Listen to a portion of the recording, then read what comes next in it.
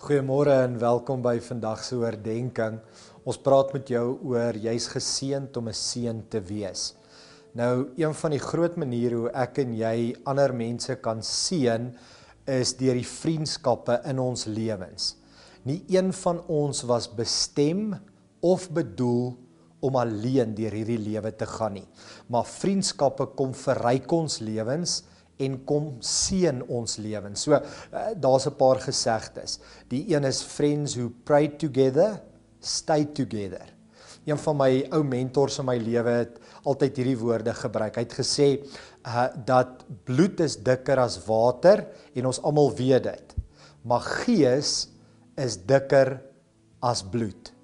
En ek weet nie of jy dit glo nie. Ek weet nie of daar mense in jou lewe is wat jou so verryk en jou so aanspreeklik hou dat jy werklik 'n seën kan word vir ander mense nie.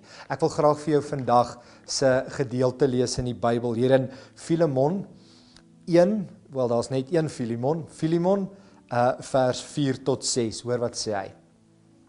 Elke keer as ek bid, dink ek aan jou en dank ek my God omdat ek hoor van die liefde en trou wat jy aan die Here Jesus en al die gelowiges bewys.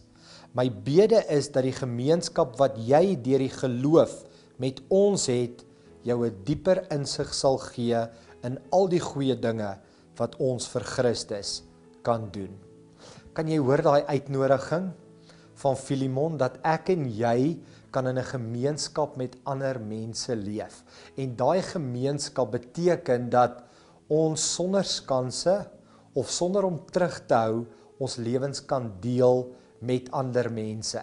En wanneer ons dit doen, dan beleef ons die seën wat die Here vir ons in gedagte het.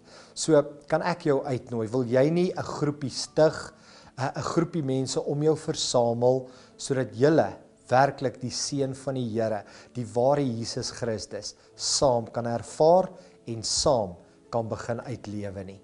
Kom ek en jy bid saam daaroor. Here baie dankie vir saam wees, baie dankie vir gemeenskap. Here dankie vir Koinonia wat sê ek kan my lewe deel. Ek wil vra vandag dat dat my vriende wat na hierdie oordeenking luister en en elkeen van ons bewus sal raak van die inspraak van mense om ons en dat ons onsself sal oopmaak vir gemeenskap en dat ons daardeur 'n seën vir ander mense sal kan wees. Dankie daarvoor Here en dankie dat ons dit in die naam kan bid bo alle ander name Jesus Christus. Amen. Baie dankie dat ons saam kon inskakel vandag en ek hoop jy het 'n wonderlike dag verder. sien jou weer môre.